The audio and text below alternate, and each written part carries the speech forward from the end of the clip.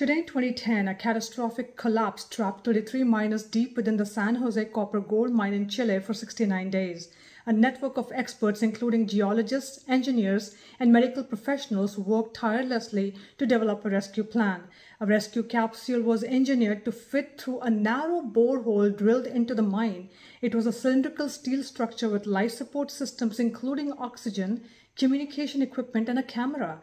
The capsule was carefully lowered and raised using a complex system of pulleys and winches. The accident led to a significant overhaul of mining safety regulations worldwide. Mining relies heavily on STEM fields of geology to locate mineral deposits, engineering to design and build mining equipment, infrastructure and ventilation systems, mathematics to calculate ore grades, production volumes and financial models, and advanced technologies like GPS, drones, and sensors for exploration and monitoring. For more Today in STEM history, subscribe now.